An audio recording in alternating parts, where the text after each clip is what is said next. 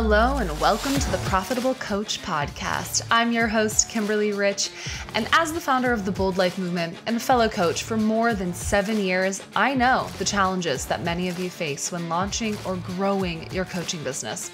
And I'm here to pull back the curtain on the coaching industry and help you overcome roadblocks to make the impact you were born to make. Each week, I'll be interviewing successful coaches from every corner of the industry to share exactly how they have managed to generate massive impact and income. From strategy to psychology, we cover it all. This show is presented to you by Transformation Academy, a global marketplace of courses and coaching certifications.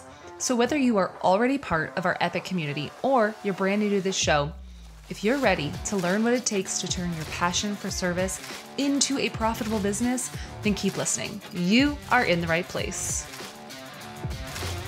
Welcome back to the Profitable Coach Podcast. I'm your host, Kimberly Rich, and this is episode 11 with my dear friend, Melanie Weinberger. Melanie is a very impressive young woman. She has spoken on stages all over the world, and you can tell in this episode what a masterful coach and purposeful speaker that she is. You can see how much work she's done on both herself as an individual, on her skills as a coach, and on her savvy as a businesswoman. And I was really excited to bring her expertise to this show because I think that around every corner, there is a nugget of wisdom that aspiring and new coaches can benefit from. So I'm not going to waste any more of your time. Go ahead and hit subscribe, hit follow on that podcast app, and buckle up because you are in for a really powerful episode. Without further ado, please welcome Melanie Weinberger. Welcome back to the Profitable Coach Podcast. I am joined today by a dear friend and fellow coach, Miss Melanie Weinberger. Welcome to the show, Mel. Thank you. I'm so happy to be here with you, Cam. So, this is really exciting for me because I have watched Mel grow as a coach, as an entrepreneur, and as a speaker since we first became friends while I was living in Austin gosh, like seven years ago. And we were part of this group of women called the Wonder Women who all supported each other in growing their businesses and just being better versions of themselves. And, and so it's really cool for me to invite Mel on to today after watching her career sort of blossom and her life blossom over the past few years. So, Mel, will you give us a little bit of context as to how you initially got drawn to coaching as a career?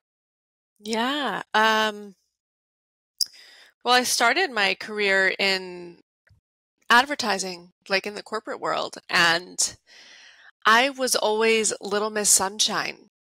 Like, I ended up being head of culture for this huge um, agency called Digitas or like leading like the culture committee or something. And then at my next agency, I led learning and development and was like the mentor in the office. And um, I remember noticing the difference between what it looked like and how a team performed when an account manager kicked off a team with positivity and when an account manager kicked off a team with like, ugh, the clients want changes and it's so annoying and how palpable it would be like a gray cloud came in the room. And I, I yeah, mm. so I always had this positive stance and, um, that took me, I followed that intuitive way of being. Um, and I always, uh, the other thing I guess it correlated with was I was always into well-being. Um, and it started as a, a physical interest. I was a runner forever for like a little less than two decades maybe. And, um, I was a writer about, I wrote about running in the newspapers in Brooklyn. I had a column in the Williamsburg News and Art. And then I was a blogger about it. And then I started a business about it. And I thought, if I can run every day, you can too. And that's kind of when I started going direct to people, kind of motivating. And over the years, that morphed into um, running. I, I launched a corporate wellness business and I started bringing well-being classes into corporations. I liked doing that so much. I decided to hire myself as a teacher into those corporations and started giving lectures on um, flow state and how we create from the inside out. And then it turns out I'm a really good public speaker, which wasn't like it wasn't like a fact that I knew. It was kind of like reflected back to me in the world. And so then I started getting invited speaking at people's like summits or uh, like graduations for coding academies in Austin. And uh, and then at the end of those uh, talks, people would come up and want more, and I started getting private clients. Um, and that's kind of the nexus of how coaching began for me. Mm. I want to rewind just a little bit because we have so many coaches in the Transformation Academy community who want to bring their new insights, these notions around well being and joy and balance to corporate environments. And yet they struggle to get yeses from the gatekeepers at these companies. So, can you speak a little bit to how it was that you got your foot in the door and were able to be hired on by these companies? Yeah, corporate gigs are hard. I don't recommend it. if you're going to choose that, you've got to be uh, the way that I saw the playing field play out is this. Either you are going to be a short term consultant and you'll get hired for a few lectures, or you'll get hired to lead yoga weekly or something like that, or you are a big boy player and you're getting hired by mm. enterprise to run the gyms at the company, or you are like mm. the Calm app and you have a huge backend that can support hundreds or thousands of people and can give a discount mm-hmm. code mm-hmm. and can give user metrics back. And if those are the those are the two camps. And so either you're going to get onesie twosie lectures or be the yoga instructor or you have to be full on enterprise, which is building a corporate I mean, then you're building a business that's really going to scale, which is a totally different thing than bringing yeah. meditation into a corporate office if you do want to do the thing where you bring meditation into a corporate office, there are um, generally three ways you can get in. One is through HR. HR can typically approve a budget. They can easily say yes to something around $500. Once you go over $2,000, they have to get approval from someone else. Typically, it has to go up to the CFO. I, when I did corporate wellness, my biggest contracts were around 40K. So I was selling all kinds of on-site classes. Plus, we had a um,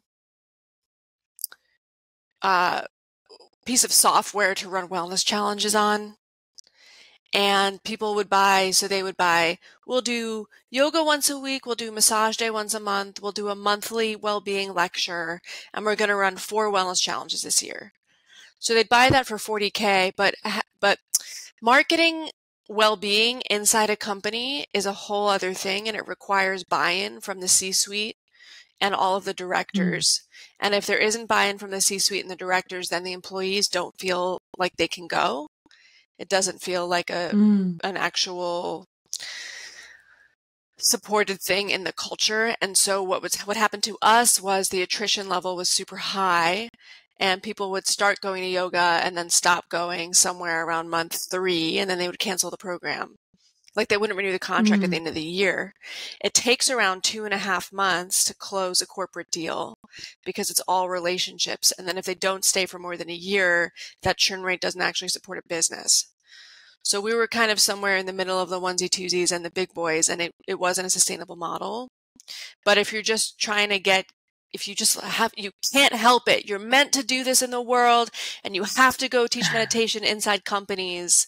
Price your meditation classes somewhere between 3 to 500 per with with no cap on how many people can attend. Get some mm-hmm. survey metrics at the end that proves that people feel better. Deliver those metrics and get as many gigs as you can. Um, is what I would say, and see if you can get a director to come. Marketing internally is a challenge. If you can get the CEO to come, then that's the bee's knees. Um, the other two people you could sell into is the C suite itself, which is generally harder to get access to unless you're already networked in with CEOs and like that's who you homie with. Um, mm-hmm. And the mm-hmm. other way you can get in is the director of a team. Often, the director of sales is someone who will hire in a well being coach or a positivity coach or a meditation coach because sales is so psychologically stressful. Uh, and so mm-hmm. you could get hired and they have budget. Well, that's what I got on corporate. Super helpful. Super helpful. Are there particular industries or sized companies that are more likely to opt for a wellness program and hire someone like like you? Yeah, a company over 100 people, and you want a company that uh-huh. has the culture of a young tech startup. Like they play ping pong in the office and like that kind of vibe. Like you can bring your dog to work. Yeah. That's who's going to buy a wellness yeah. program. Yeah, that checks out. and so, was this something that you were doing um, before Mindlight, or was this the early days of Mindlight? A little of both. This was what I did before okay. Mindlight solo. Um, it was called Well Shift, and I did it for seven years. And I had uh, our claim to fame was we ran all of Google's wellness programs for the state of Texas. Um, and then after Well Shift, Mindlight actually started in corporate um, because that's mm-hmm. what I mm-hmm. knew how to do. And we weren't getting traction there. It was just kind of the same thing over and over again. Like people would buy a $1,200 90 minute training and then that's kind of where it would end. And so we would work these mm-hmm. relationships mm-hmm. with the Googles, the YMCA, the, you know, but it wouldn't turn into something long lasting. And so we pivoted away from focusing on corporate, realizing that we actually need a full kind of software suite that would mm-hmm. come maybe seven years down the line in the maturity of the business.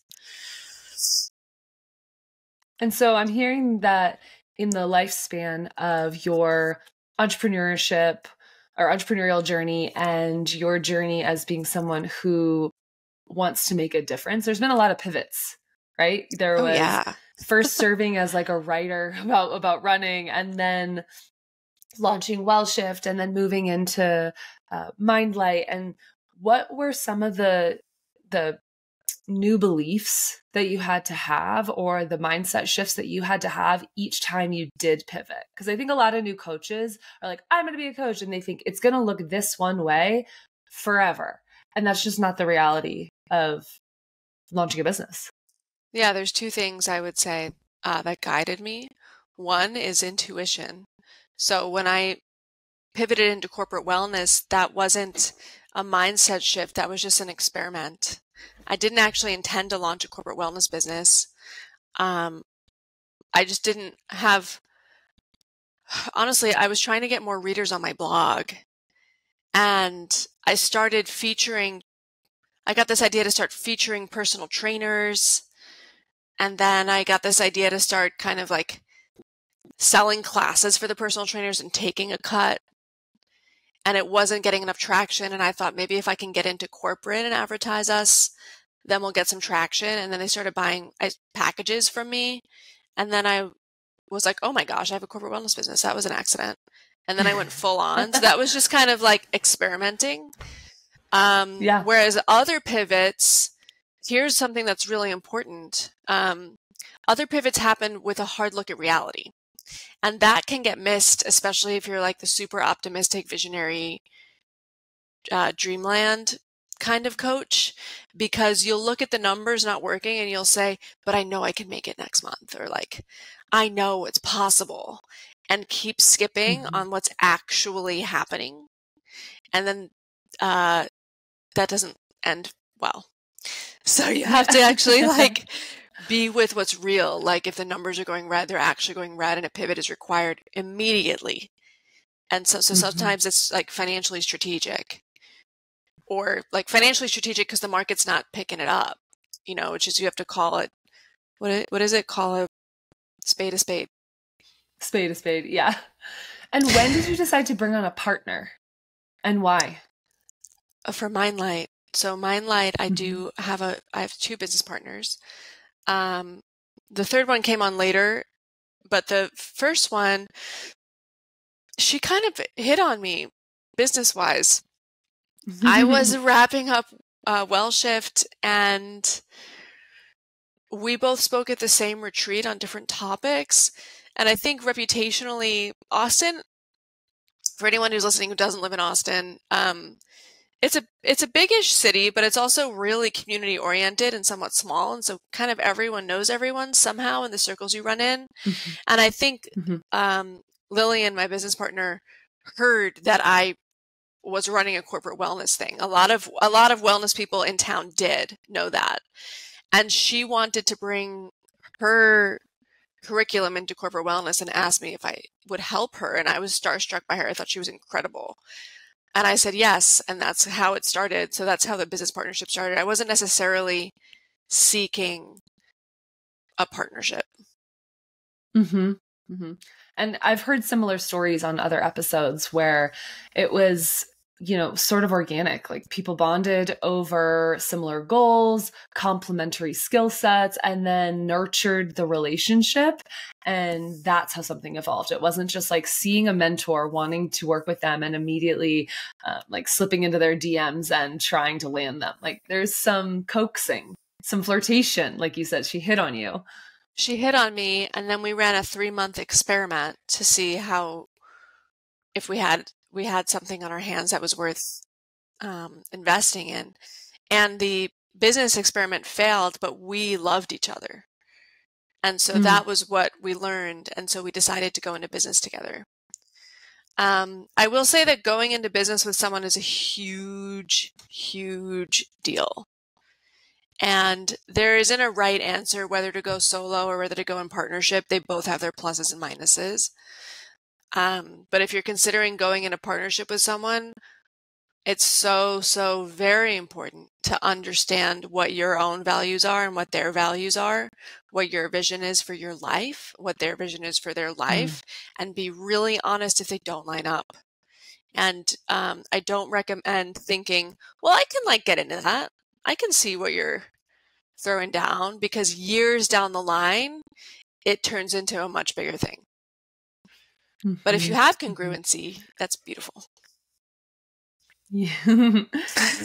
you said a word now three times that I want to call out because I think it's a really useful word for people who are brand new to something, and that was experiment. So, will you speak a little bit more about how you've leaned into this concept of experimentation in your coaching with one on one clients and the evolution of uh, Mindlight? Um, yeah, ideas aren't the truth. Ideas aren't the answer. They're ins- inspired creativity. Um, but it doesn't mean that the whole world also wants what you think is the answer or the mm-hmm. truth.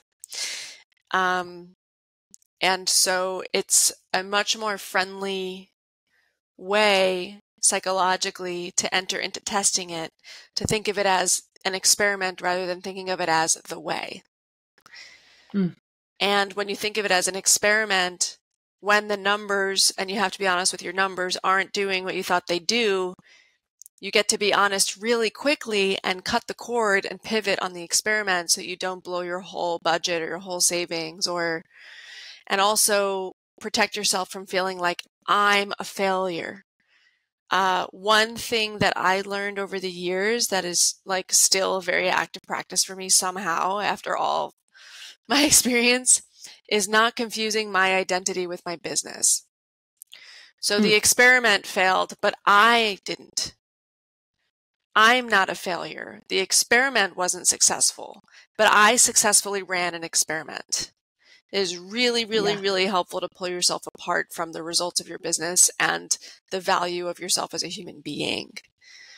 Um, and really, everything yeah. businesses are experiments forever, forever, ever, because the world's always changing and you're changing and your team's changing and you're going to want to launch a new product and this product's going to get tired and you're going to get tired of teaching that course and you're going to try teaching this course and mm-hmm. um, you you never know you, you never have the answer. Um, so yeah, sort of like easing up on having to know the way versus testing into many ways and seeing what mm-hmm. works. And, you know, any business book that you read about the longevity of a business, uh, case in point, like really famous one, Good to Great by I think Jim Collins, they say somewhere in there that when a, whenever a business thinks that they've they figured it out and they start to become static, they immediately fail and die. So it's always mm-hmm. experimenting, always innovating, because the world is changing. So this is yeah. kind of the reality. Yeah. I, I didn't realize I said that three weekend. times. Go ahead. yeah, it landed. And and and I really appreciated it because I think that it's a really important concept for especially new coaches or new entrepreneurs to like have in their toolbox to protect themselves from quitting early or losing their sense of self to their business, especially if they are creating what we call a personal brand. That can be really confusing sometimes when your life, your personality becomes the like core element of what is drawing people in to buy from you. And so if they stop buying from you, what meaning are you making that about you and and how can you shift that um uh, what I was what I was starting to say was that I was at a conference this weekend called the Millionaire Minds Multi Millionaire Mindset Intensive, based off of T. Harv Eker's teachings, Secrets of the Millionaire Mind. And one of the things that stood out was uh, the speaker said, if you're not changing your marketing every 30 days, then you're stale because the economy's shifting, culture's shifting, politics are shifting, your customers' problems are shifting. And and I think that being in that state of constantly evolving and running new experiments can just help you be more fluid and less attached to uh, one particular product or message or client or outcome and, and understanding that's always iterative. Yeah, I do want to um, name an exception to that rule, which is my friend Jolie Dawn, who you should totally get yes. on this podcast. She's a very successful coach. Yes. And she, yeah. we were just literally hanging out two days ago, and she was like, "Yeah, I'm kind of on, um, uh, the word she used were rinse and repeat, not in a not in a boring way, but in a like I've got a system and it works. And yeah. so sometimes you can have a system that works. I, I don't want to scare people listening thinking like you have to have complete like brand new creative, brand new strategy every 30 days because that can be a lot. Um, yeah, yeah, yeah. I, but I imagine she's bringing in fresher partnerships each time, or like there's some kind of new, new air breathed into it, or a revamp. Mm-hmm. But you can have sustainable well, her, systems.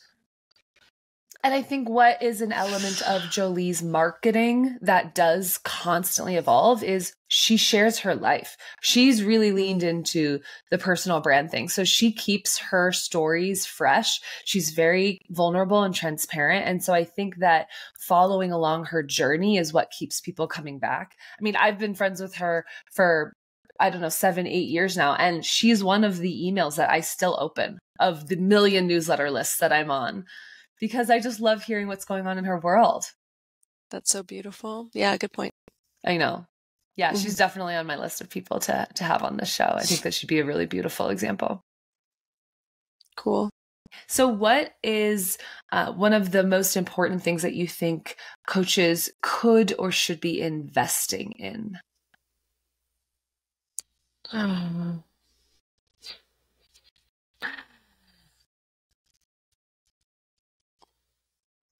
Is it too cheesy and cliche to say their own well being? No. I mean, every coach needs a coach. Every coach needs, you got to scrub your own floors. If you're going to be scrubbing other people's floors, you got to be good at it. And the, the most uh, appropriate testing grounds is your own psyche before mm-hmm. it's other people's how does it really work to keep yourself in balance and inspired and well? Um, be the role model. Not to say to be perfect, because I think there's a trap in coaching where you have to be making millions, you have to have the house, the clothes, the whatever, because you have to prove that your mindset and your you know everything's perfect i don't think that's true there's we're all human and i think it's perfectly yeah. good to share the humanity you know and then come out come show the arc of what you've been through. Um, but i see a lot of coaches who aren't doing their own work and it makes for a dirty session. Meaning you're bringing your like you're bringing your dirty floor into the session with your client and the results aren't going to be great. So maintaining your own clear headspace being like reinvesting in your why why am i doing this um, and investing in your mind and your well-being as the first testing ground because if you're going to be all about other people living their best lives and you're not i mean what's the point of that yeah, 100%. You know, and yeah. I can fully admit that I have fallen prey to the trap of thinking that I needed to have certain things figured out to be a good coach. And you know, it's it's a beautiful reminder that you can have growth happening in one area of life and still be crushing it in another and still be totally able to support people in that other area. And then maybe in the future, because of the growth that you went through over here, you're able to help other people move through that type of pain or that type of growth more easily because you have the experience with it. Oh, um, oh, absolutely. I also think yeah, and and also I've never been a better coach than when I'm being coached because I'm seeing what's working. you know, I pull exercises or powerful questions or whatever tools that my coach has in his or her toolbox into my own sessions. And so that is a, another great reason that coaches need coaches. coaches need coaches, man. Yeah, totally. Agree. Yeah on the flip side of that, how has being a coach impacted your own life? Um, what ways have you shifted because you are coaching others? Gosh. Well, I just love it so much. Many ways. So, um, well, at Mindlight, I've played a lot of roles. So, Mindlight, for everyone listening, Mindlight is an emotional training company, and we train coaches in how to be masterful at working with their clients' emotions. And then all of our mm. graduates and myself and my co-founders um, see private clients. And so, in in that in Mindlight Institute, I've been a trainer I've been a mentor, I've been an advisor, or I've, I've led mentorship. It's like a two year institute. Like just imagine like kind of, kind of like a coaching university kind of thing. Um, and number one, coaching coaches is very inspiring, especially if you have a model like we have a model where our student coaches give each other sessions. Like we teach a technique and then they swap, and the trainers are watching. Um, maybe with the camera off on Zoom, everything we do is, is online right now. And you watch someone else give someone a miracle.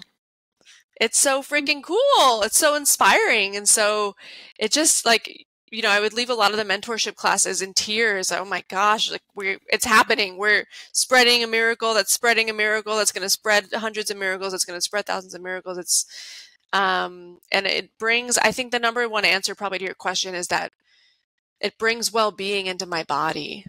It brings a well-being into my mm. body to watch other people heal other people. And when i'm channeling for a client when i'm the bridge to well-being for the person across from me it's like divinity is pouring through me and it it cleans it cleans me. And sometimes i leave a session being like man i want that session. That was a great session. Like whatever i said to them is what i needed to hear today. Thank you so much for that. That was great um, so I, I get, you know, I want my number one value in life right now is alignment. And mm. I um, calibrate alignment by feeling how open and um, good feeling is the energy in my body while I'm engaging in something. How is my general vitality in life when i th- when i think of this thing does excitement come into my body or does heaviness come into my body um, and is it does it make sense for the natural constitution of who i am like we all have our own mm. natural constitution introverted or extroverted or um, loves playing sports, hates playing sports. There's just a, a, makeup that we all have. And am I fighting my makeup or am I working with my natural makeup? Uh, and for me, I find when I'm sitting across from a client, I'm in total freaking alignment. The energy's on, I'm open, I'm alive. It's fun. Their lives are changing, which is so, what an honor and it's like the best yeah. hour ever and it's like wow i just got paid for that that was incredible that was like i'm definitely in the right place um and and i don't find that particular high voltage thing isn't absolutely everywhere in my reality it's in certain places in my reality and that is yeah. one of them and so that is one of the big things i get out of it is just that human experience Are you ever in a coaching session when that feeling of alignment isn't the case? And do you attribute, if so, do you attribute it to a bad fit? Like they're just not the ideal client for your unique set of skills? Or is it maybe you haven't filled your own cup before coming to the session. Can you speak to that at all? Because I imagine some people listening have felt that, but newer coaches might still be so in their head about their ability to serve that they haven't tapped into that yet. You nailed it with those two, and there's one more that I'll add. So, first, um, I might be under resourced, which is the second thing you said. And that that totally makes a session suck. It's like I didn't sleep last night, or um, I just got some really bad news and I'm really need to cry, but I'm going to hold it in till the session's over or something like that, or a headache. Um, mm-hmm. That, yeah, that sucks. So that would be one reason be, to be being under resourced. Um, and then the second reason kind of can be split into two, and you named it, is like this client is just not the right fit for me. Uh, that is so real. And um, I want, I couldn't like put it in red lights more for everyone who's listening. Don't work with clients who are not the right fit for you. It is not a win for you and it is not a win for them. The sessions won't go well. You're not going to feel good. And the strategy of like, oh, well, I'm just going to work on myself and clear my trigger around people who express that way before the next session is a really um, really tough, stressful setup. And there's no guarantee that mm-hmm. you're going to actually clear the root of where, wherever trauma that trigger is operating off of. And now that client is going to be like battlegrounds for you. And the second you get triggered in the session, that whole session is going to fold. And I'm sure people listening have had that experience. So there's two ways to avoid that. Um, one is test out if you don't do discovery calls and they're just booking you and it's a it's a first session whatever it is in your first interaction test out if your medicine works for them and if you like them you get to like your clients and if you sit across yeah. from this person and you feel all the light leave your body or um, you feel like you just gave them your the, you gave them all of yourself and nothing happened like they didn't get mm-hmm. any results and you couldn't get in there for some reason probably just not your client. And right away, to say, you know, I think I'd love to refer you out. I have someone who'd be a perfect fit for you. And refer them out. It's great to refer them out. You they'll you want them to get yeah. results. You don't want to force anything. Yeah. The second thing that could happen is that that client's actually out of scope for you.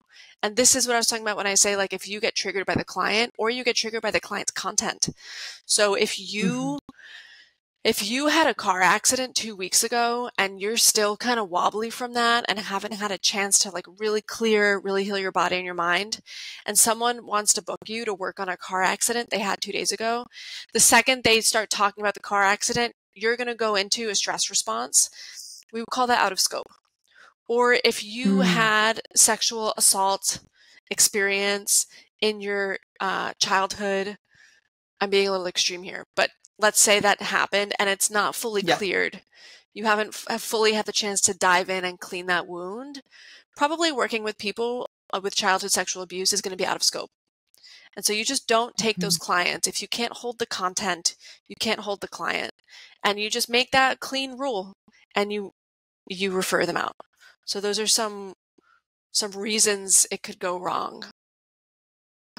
I love that.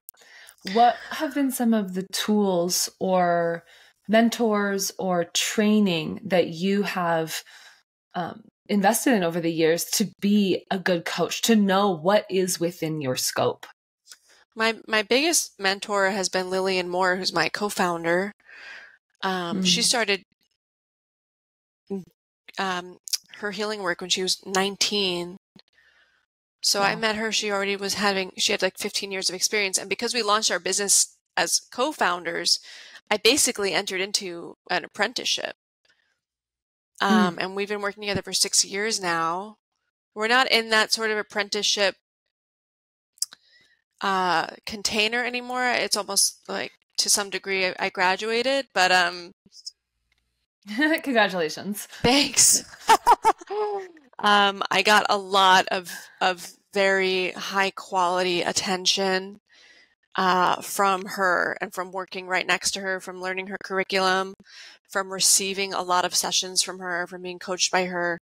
Um, so, and that would be Mindlight, everyone. I'm so, so it's like slight promo for the institute that I run, Mindlight.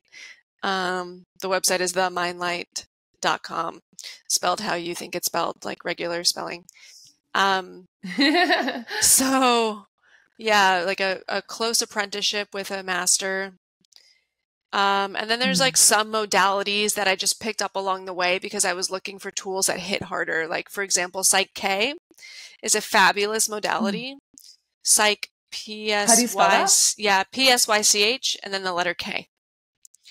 And Mm. it's a modality that supports someone in shifting their beliefs into supportive beliefs versus unsupportive beliefs, but does so somatically so that it's not Mm. just it's not a mantra it's not a sticky note you're putting on your mirror and saying to yourself every morning for 30 days and hoping that it becomes true it's a way of actually finding a belief that can fully land in your body as a yes in this moment so resoundingly yes in your body that you're now actually shifting your operating system to that belief from the one you were believing before and it's fabulous. Mm. So there's so many uh, like modalities hidden in caves out there because they decided Yeah. not to build a marketing team and raise a round of funding and scale their you know brand.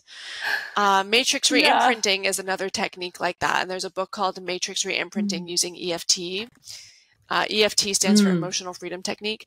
Matrix is used to heal trauma, and specifically used to heal a traumatic moment or event and it's a technique where um, you you're actually working with the energy body of the trauma without ever having to have the client tell you what happened or relive it. It creates almost two layers of um, two layers of safety from the client having the opportunity to get re-traumatized, which is the most important thing you can do in trauma work is not bring too much pain into the body all at once, which would create overwhelm, which would create uh, re-traumatizing or a second trauma by trying to work with the first trauma without enough skill and how to approach that pain with Yeah. pace, the right pace. Um, so it's another technique, and that if you already are practicing EFT, read that book, Matrix Reimprinting using EFT, and the book will skill like, and then give yourself sessions. Um, so, so those are, I would say, my main Wow. two ways. Where I, I'm a big reader, reading books. I had a really tight apprenticeship for about five years. Um, and then just poking around on the internet to find modalities that would hit better than tools I had. And then I would hire coaches who were graduated in that modality and have them give me sessions and then figure out what they were doing and then do it. Genius. Yeah. I love it. yeah, and I think that that's a really important reminder that yes, we can get educated from books, we can get educated from courses, but nothing's going to hit the way experience hits. And so getting to really like be yeah. a, a, a student of that modality as the client uh, is going to it's just going to let it land in a different way. Totally. And I I would say one of the the the experience, what you just said, eh, another thing to put in red lights. At Mindlight, we pair, every student gets paired with other students to give and receive sessions. That experience is what makes an embodied coach. Having had mm-hmm. a successful session in your own body, you healed from a traumatic yeah. event. Now you have a knowing that people can heal from traumatic events because you did it. And so the embodiment yeah. you have, the confidence you have as a coach when you speak, clients want someone who who they can feel knows the way. That's what they're they're going to pay for before they've experienced you if they can feel it in your body. Um yeah. yeah. Which would you say you all lean into more helping people to heal from past things or helping people to focus on the future and and like move towards goals and I know that's kind of a nuanced difference, but it's not. We have two completely separate courses for one of each of those. Okay. Um, we have a course on trauma integration. That's an 18 week training course for practitioners, teaching them how to heal even the most intense psychological wounds. And I always, I always do a spectrum. That's on this side. And the other side, the, we don't actually really work with accountability because accountability to me means you're overriding something in this person's system that doesn't want to do something. That actually needs some mm-hmm. attention to get cleared up because when you're in alignment, mm-hmm. things feel good and you want to do them. But we call the other side of the spectrum human potential, which is how do I allow the limitlessness of my experience to expand, expand, expand, expand? How can I have every idea that I've thought I've wanted to feel have happen? How can I get out of my own way and reduce resistance and to and allow? Um, so so that's how we teach the two of what you just said.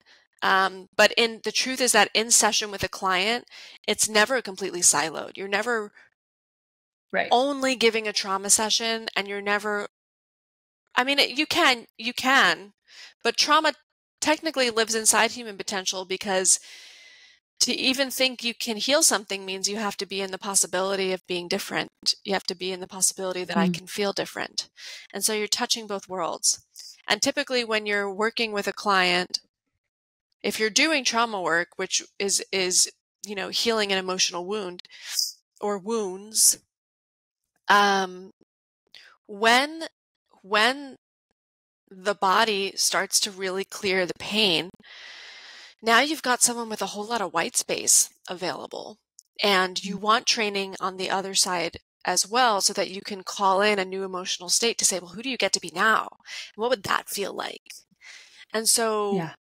um, and that way in our work, we're calling them into a new beingness and there are new actions that would come from a new being.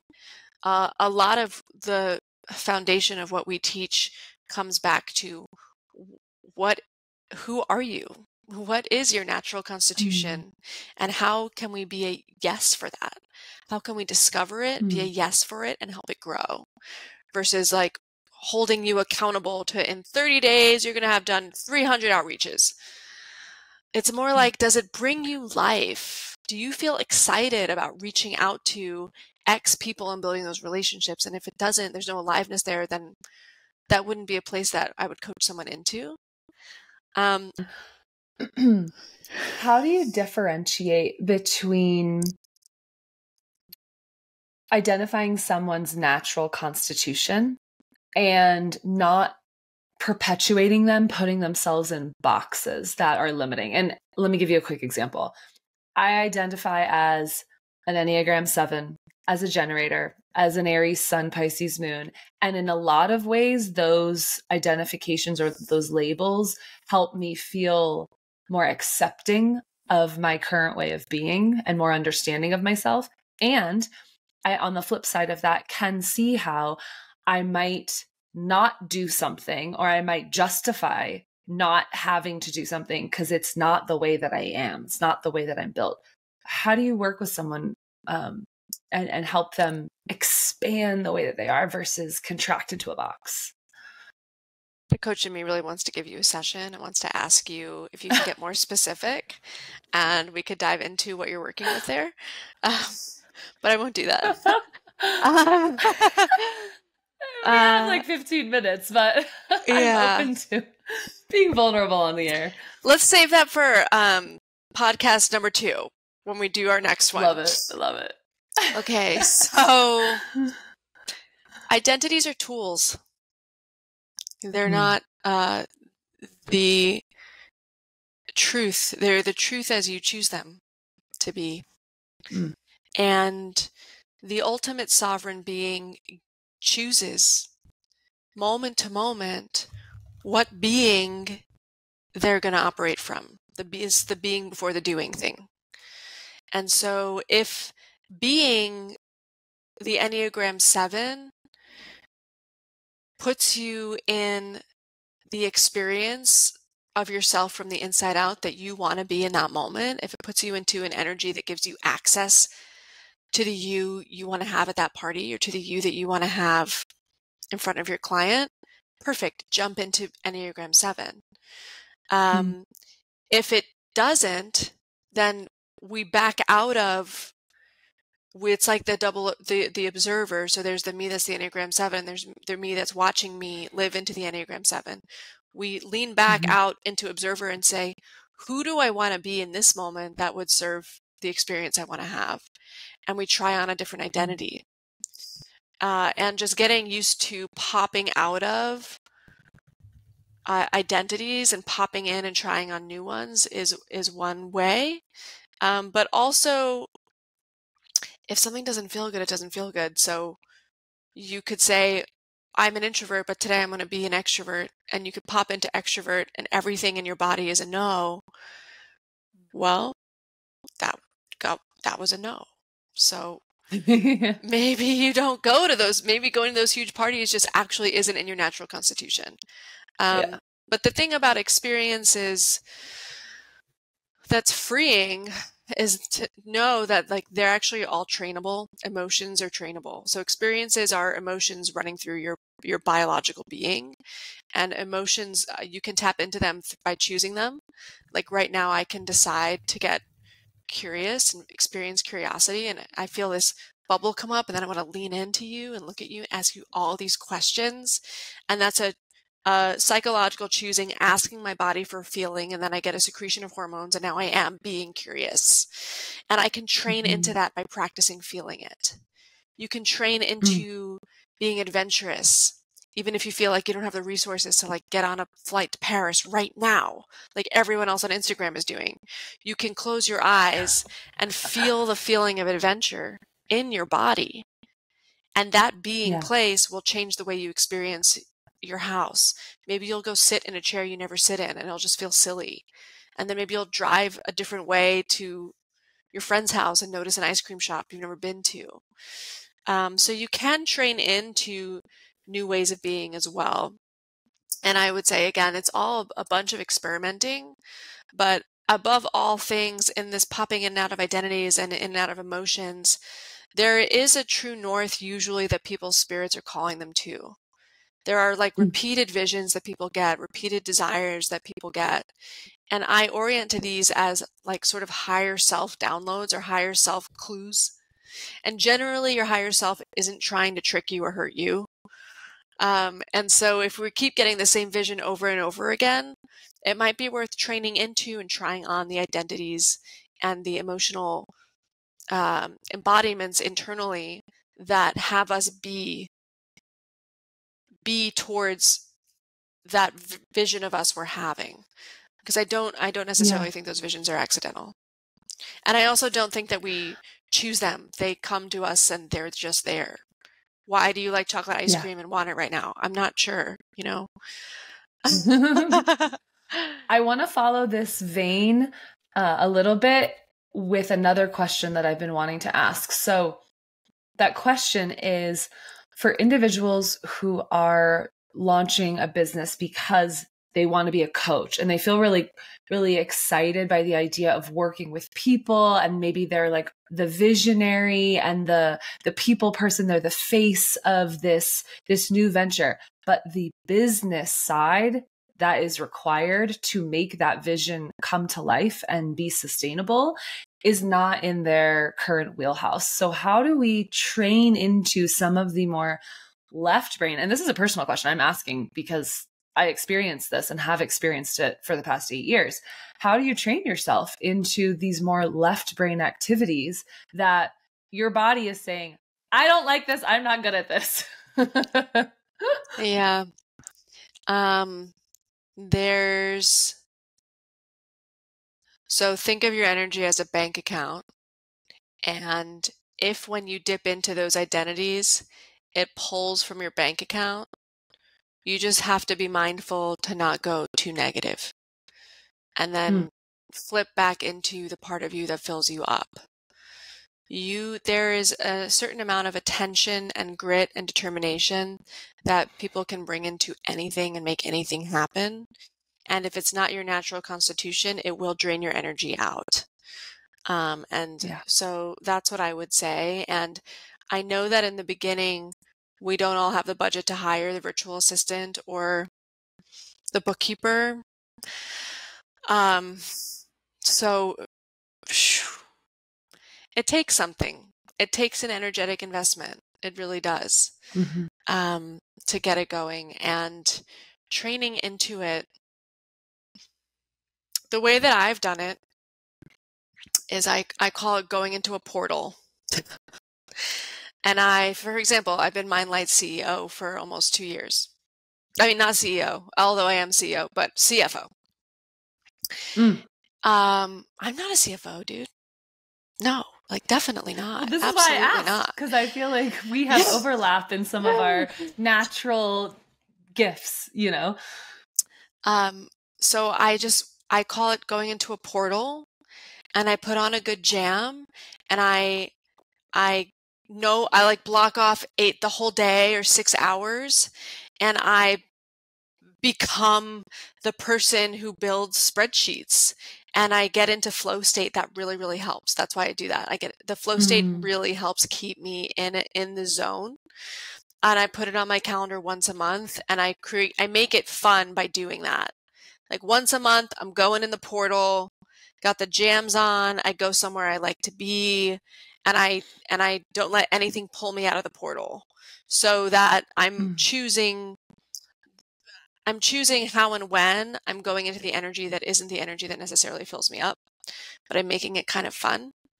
Um, and yeah. the other thing I do is I, I do, I try and do really excellent work when I'm doing that kind of work so that I can trust it. Mm. Um, because if you, if you can trust it, then you don't have to keep thinking about it or worrying if you did it right or um, it's like you know you go in you do excellent work you trust that work and then you don't have to go back into it. Um, yeah. That makes so much sense i love that. My my friend who invited me to the millionaire mindset intensive this weekend um, we're in very different financial situations, but we have similar patterns around our money. And so having her suggest, let's have these money dates where we get to hold each other accountable to be better money managers because historically it just wasn't something that excited us.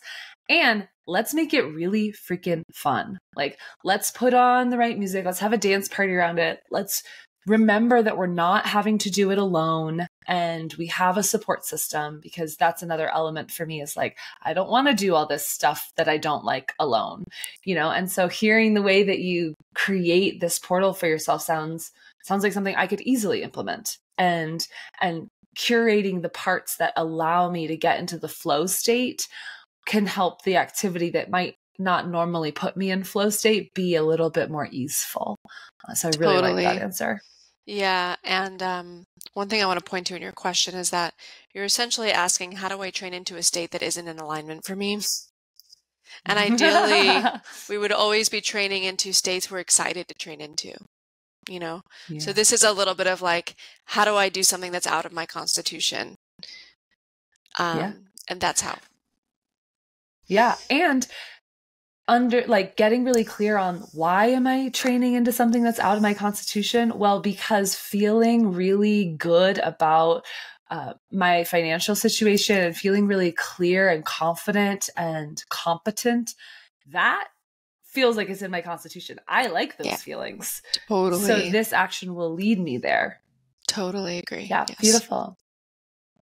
Mel, before we wrap up, I want to ask as a new mother to be, oh, how yeah. have you shifted how you show up in your coaching business? Um, given that you're in a brand new chapter of life because i think there's a lot of people who have stories that oh well that person doesn't have kids or that person doesn't this and that and we're all humans going through the human stuff so how has becoming a mother um, shifted your way of coaching or running a business um, well the running a business aspect shifted a lot uh, the biggest thing i did was hire a new marketing team so i i've run mindlights marketing forever and mm. uh, this year I hired three people to replace me. Turns out entrepreneurs do the jobs of many people, and mine was three. Um, so now Mindlight has a marketing director, a partnerships director, and a marketing coordinator. Mm. And it took something to believe that I could be replaced. It took something to believe that I could find incredible talent um, because I had, and I, so I had to give myself sessions. I had to break myself out of, well, no one can do this except me, or I'm not going to be able to afford top talent. Top talent's very expensive. Um, and that's not true. It's not true. Mm. When you have something, when you have a business that's, that has a meaningful mission, that's actually what people are drawn to.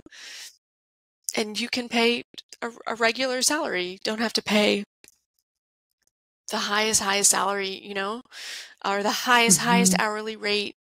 Um, you can pay an average hourly rate, or maybe a little bit above average, or you can actually pay a, a, a below average hourly rate when people really believe in your work. And so I had to like crack that a little bit and I used Psych K. I used Psych K. I sat in what was turning into the baby's nursery and I shifted out of that belief into the belief that I could hire an excellent marketing team. And when that belief, mm. I can hire an excellent marketing team, landed in every single cell in my body, it didn't take very long. I wrote up the mm. full, like every single freaking thing I want in a marketing director, put it on Indeed, found a way to like, uh, finagle Indeed to like get it out there for free. I got, I don't know, 200 applications in two days, and one of them was an absolute rock star, and I knew her resume was rock star. It was like former SVP of Avon sales, um, like for example. And I immediately was like, let's get on a call. And she's now our marketing director. And she's incredible, Amazing. incredible, like carrying, oh my gosh, yeah, it's really dreamy. So there's something mm. about knowing a kid is coming that kind of snapped me into like set this up so that you can be a mom, which means I need more time, basically. Yeah any more time. Yeah. So that it did that and it had me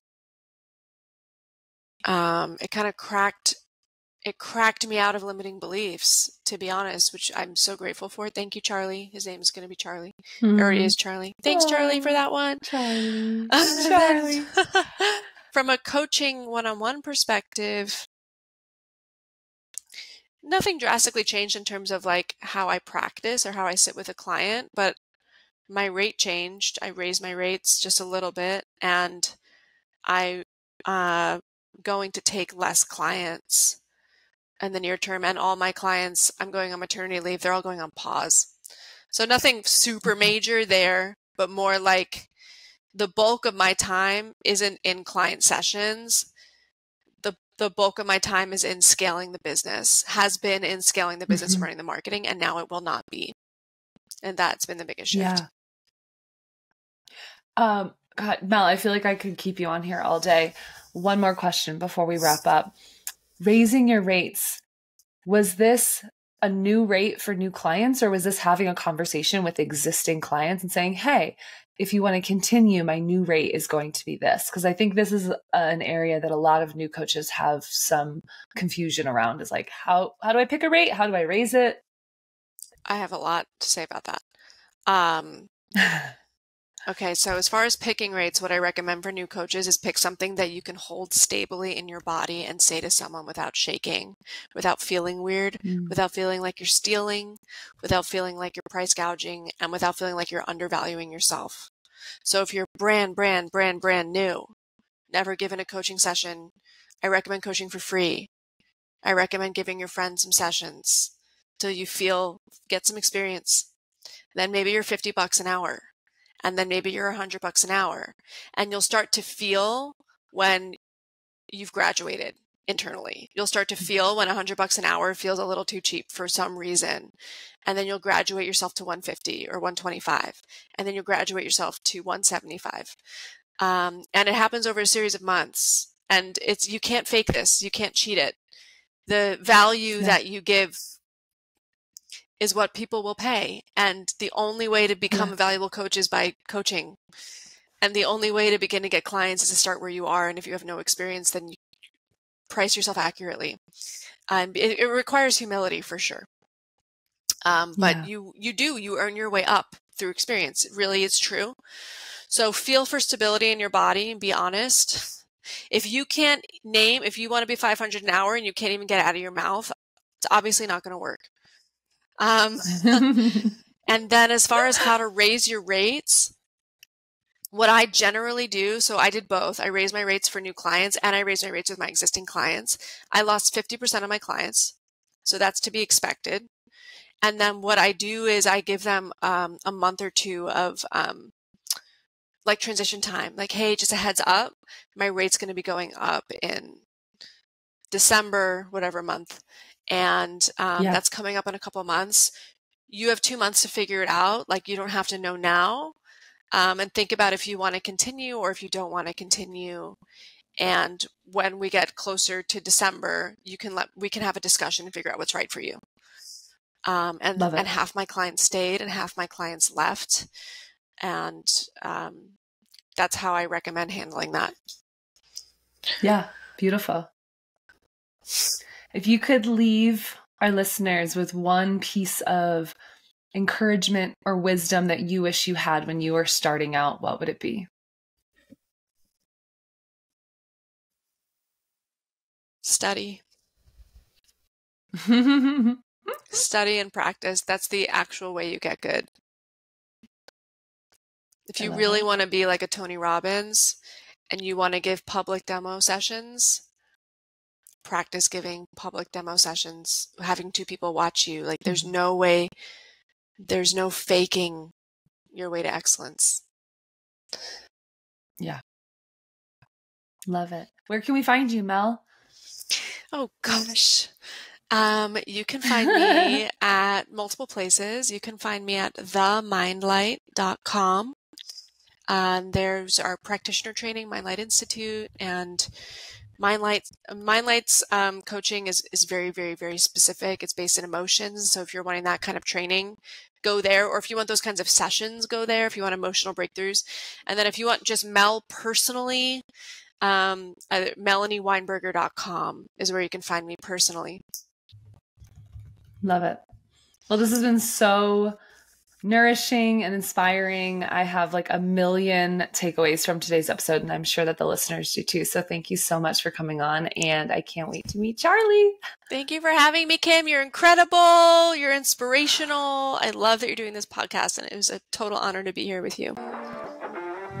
Thank you so much for listening, and thank you to Melanie for today's incredible episode. If you got value out of today's show, do me a favor, go ahead and leave us a review on your podcast app of choice. And if you want to connect more with Melanie, then feel free to check out the show notes at theprofitablecoach.com slash 011 for episode 11. There you can get all of the information that we talked about in today's show and learn where you can follow Melanie. If you want even more free value. If you are looking for support on how to magnetize those ideal clients, then I encourage you to check out our freebie over at theprofitablecoach.com slash freebie. There you can get access to our life coach launch mini course. And again, it is free. So I appreciate you guys tuning in and I can't wait to bring you next week's episode. It's going to be a little bit different, so get excited.